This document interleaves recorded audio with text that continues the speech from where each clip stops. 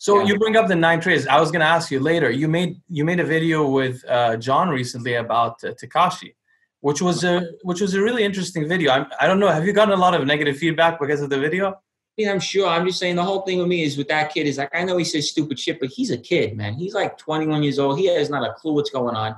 You know, he was just a little kid. They abused him pretty much his own gang. I mean, I understand he was getting people hurt or whatever, but the kid's the kid's really a lost soul, man. He don't know what's going on really yet. You know, he's like 20, 21, I think.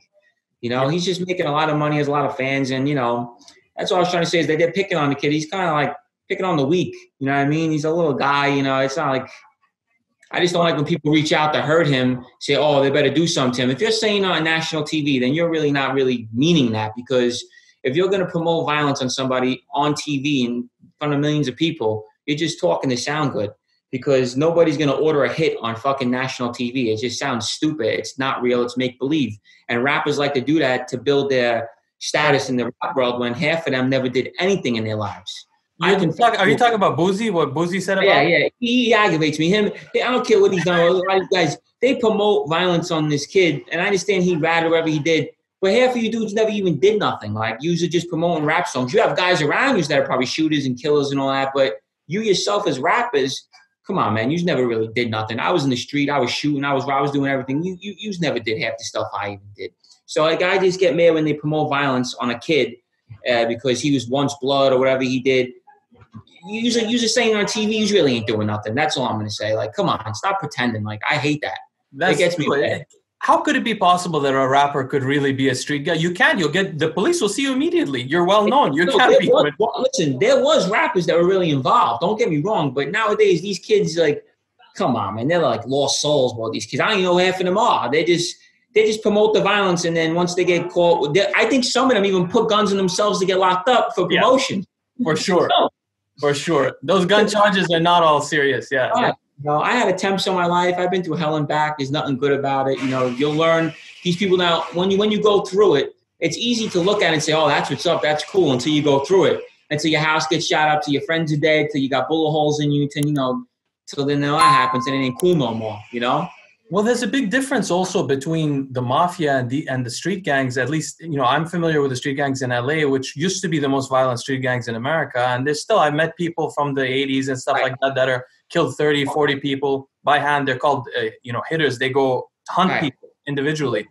But they're killing people for no reason a lot of times. You know, Exactly. even, like, even like the MS-13s, like I personally hate that gang. I'm going to be honest with you. Um, I don't like their their whole their whole way of doing things. They kill women, they rape women. That's like cartel shit. As I said before, Bloods really don't go for that either. I know in jail, a lot of organizations don't go for those crimes. If you hurt a child, you rape a woman, you know, stuff like that, you pretty much are going to get beat up in jail. You know, you can't live nine out of 10 times. And um, that's why I don't like their organization. They chop people with machetes for no reason. That's not a tough guy. When I was in jail with them, I used to go, listen, I want to be hear about your murders if you're talking about killing a nine year old girl. That's not a murder. They really like that on the East Coast?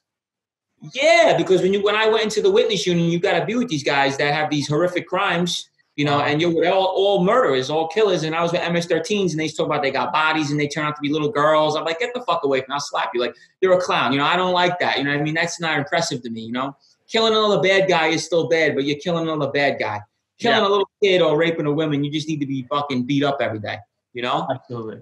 Yeah, But what I Yeah. was trying to get at is like the street gang mentality here, you know, it was born out of hatred and anger. It's really more about needing they don't have families, they grow, grow up without a father, grow up with, you know, bad circumstances. It's it's not sort of like the Italian mafia where there's a history, there's a culture, not not anymore maybe, but in the 60s or you know, where people were they had maybe it was a little bit sneaky, but they had like they were looking for money originally and they they were organized and they did Whereas the street gang guys, at least in LA, it was more of just making a reputation for yourself as much of a fearsome human being as you could be.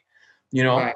I don't know if in New York it's still like that because you guys, it's New, it's in New York City. You guys have cameras everywhere. Are the Bloods really going around shooting No, people? they still, no, they still killing each other like crazy. But um, Really? Uh, yeah, the Bloods, the gang members are still killing each other like crazy. That's that that's not going to stop in New York. That's that's never going to stop. so you uh, think. Tekashi is actually in danger? Violence and gangs will never stop. The mafia is washed up. They don't they don't do nothing no more really. To get a shooting out of them is like i i- it's rare. You know what I mean? But street gangs, no, they're still the same in New York. So you think Tekashi is actually in danger? Yeah.